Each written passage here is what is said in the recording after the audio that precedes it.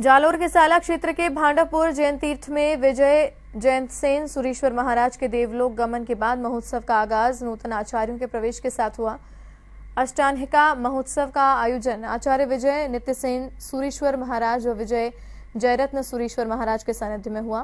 कार्यक्रम में आचार्यों का नगर प्रवेश गाजे बाजे के साथ हुआ।